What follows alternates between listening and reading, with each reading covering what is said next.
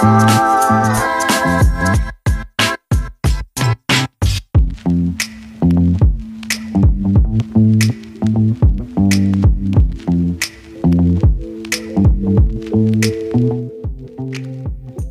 तो और भाई लोग, क्या हाल चाल आई होप कि आप सब एकदम बढ़िया होंगे यार फ़र्स्ट क्लास तो फाइनली मैं आप सब के लिए लेके आया हूँ शॉमी एंड पोको डिवाइस के ऊपर कुछ ऐसे हाइपर ओएस का टॉप थ्री प्रीमियम थीम जो अपने शॉमी एंड पोको डिवाइस पे अप्लाई करते ही आपका यूआई टोटली यहाँ पे चेंज हो जाएगा। तो चलिए फ़र्स्ट थीम को देख लेते हैं।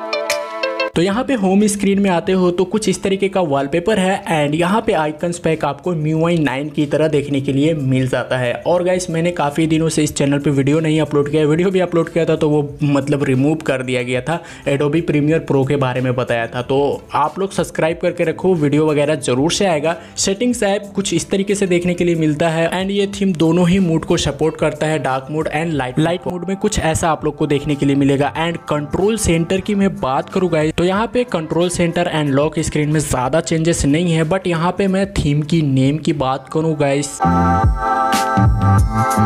तो दोस्तों, ये है हमारे लिस्ट के सेकेंड थीम यहाँ पे home screen and icons pack आप लोग को कुछ ऐसा इस थीम में देखने के लिए मिलता है। वॉलपेपर हमें काफ़ी पसंद आया। डार्क मोड पे आते हो तो इस थीम में सेटिंग्स ऐप की डिज़ाइनिंग पूरी तरीके से चेंज हो जाता है गाइस एंड यहाँ पे येलो में देखने के लिए मिल जाता है। इसकी कलर कंट्रोल सेंटर में भी सेम आपको येलो कलर प्रोवाइड कर देगा ये थीम एंड यहाँ पे मैं बात करूँ इसकी लॉक स्क्रीन की तो देखो लॉक स्क्रीन में ज़्यादा कुछ चेंजेस नहीं है। एंड गैस यहाँ पे वॉल्यूम स्टाइल की कलर को भी कंप्लीटली यहाँ पे चेंज कर देता है ये थीम एंड इस की मैं नेम की बात करूँ?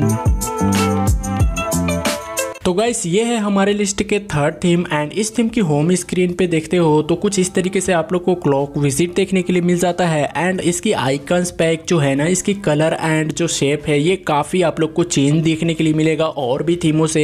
एंड गाइस इतने दिन से मैंने वीडियो नहीं अपलोड किया है क्योंकि जो भी थीम स्टोर में थीम प्रीमियम थीम है, वो सारे पैड है और मुझे थीम डिज़ाइन नहीं करने आता है। लेकिन इसकी अगर आप लोग इस थीम की home screen and lock screen पर आते हो तो आप लोग को काफ़ी अच्छी सी home home screen and lock screen ये थीम प्रोवाइड कर देगा। साथ ही में इसकी कंट्रोल सेंटर भी काफ़ी अच्छी लगती है, मुझे आप लोग देख सकते हो। और दोस्तों, हमारा एक सवाल है आप लोगों से कि म्यू आई फोर्टीन या फिर म्यू आई थर्टीन ट्वेल्व वगैरह वगैरह आए थे और हाइपर ओएस आप लोग को सबसे अच्छा कौन सा लगता है? हाइपर ओएस या म्यू आई के ओल्ड वाली वर्जन थर्टीन फोर्टीन या फिर ट्वेल्व या फिर नाइन या फिर टेन कौन सा अच्छा लगता है? इलेवन भी था और यहाँ पे लॉक स्क्रीन में कुछ इस तरीके से इस थीम की डिज़ाइनिंग किया गया है, जो मतलब अगर आप लोग को म्यूज़िक वगैरह क्विकली प्ले करना है तो म्यूज़िक के लोगों के ऊपर डबल टैप करके आप यहाँ से म्यूज़िक वगैरह प्ले कर सकते हो। एंड गाइस इस थीम में अगर आप लोग चार्जिंग एनिमेशन को देखे हुए तो आप लोग को यहाँ पे चार्जिंग एनिमेशन ये थीम प्रोवाइड करेगा फ्लो वाली, जो मतलब देखने में काफ़ी ज़्यादा अच्छी लगती है। और दोस्तों, आप लोग को सबसे अच्छी थीम कौन सी लगी कमेंट में बताओ, और वीडियो को लाइक नहीं किए तो लाइक करके चैनल को सब्सक्राइब ज़रूर से करिएगा। मिलते हैं नई वीडियो के साथ, तब तक के लिए बाय